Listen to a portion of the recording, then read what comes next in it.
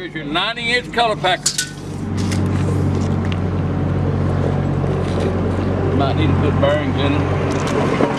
It'll work like this.